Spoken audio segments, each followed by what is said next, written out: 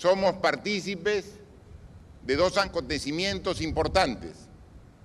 El zarpe del BAP Unión, quien ha salido con toda su tripulación en un viaje de instrucción que va a recorrer diversos países como México, Estados Unidos y Canadá, como parte complementaria de su capacitación y preparación profesional de los cadetes de la Marina de Guerra, pero que adicionalmente llevan invitados de la Marina Mercante, de la Policía, de la Aviación, como el Ejército.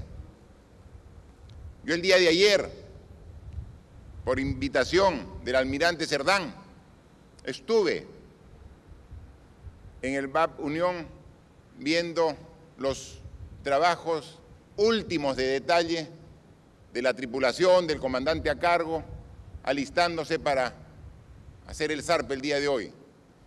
Y pude constatar la emoción, el profesionalismo, el compromiso que tiene estos jóvenes con nuestro país. Y hoy hemos visto emocionados cómo han partido rumbo a destinos distantes, pero siendo embajadores de lo que son las Fuerzas Armadas y lo que es nuestro país. Emocionados también hemos visto a todos los familiares cómo los despiden satisfechos y orgullosos, sabiendo que representan no solamente la moral, sino los deseos de progreso y desarrollo que tienen todos ellos.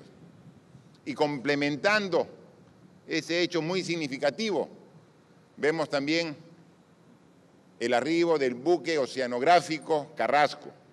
Y nos sentimos orgullosos de la labor que han hecho en esos 99 días y en una tarea sumamente importante en la Antártida, porque este buque no solamente es un buque logístico, es una plataforma científica, es un laboratorio móvil quien ha ido a estudiar junto con científicos de los países más importantes del mundo las condiciones de la Antártida, analizar su ecología, analizar su flora y fauna, inferir en función de los glaciares cuál es el comportamiento y a dónde vamos en función del cambio climático que afecta a toda la Tierra.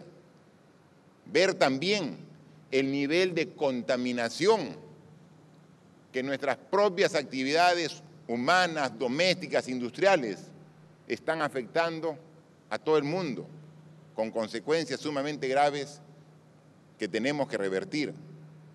Esta información no solamente sirve para nuestro país, sino para científicos del mundo, para que puedan tomar decisiones importantes de ellos.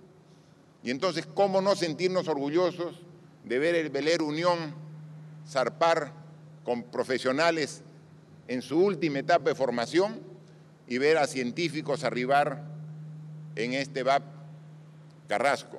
Y ahora es momento en que todos nos juntemos y sumamos fuerzas para lograr combatir al principal enemigo que tenemos, que es la pobreza, que es la desigualdad, que son las brechas que existen en nuestro propio país. Y son las Fuerzas Armadas las que están poniendo toda su capacidad profesional, su mística, su logística para lograr ese objetivo. Felicito a la tripulación que acaba de partir y la que está llegando. Les agradezco en nombre de todos los peruanos el esfuerzo que están poniendo. Y Grau se sentiría orgulloso de ver a oficiales tan comprometidos y con tanto amor por nuestra patria.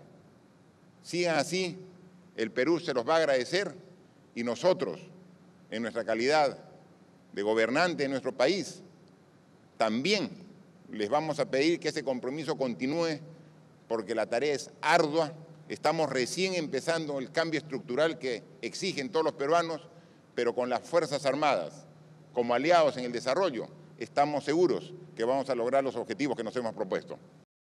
Gobierno del Perú. El Perú primero.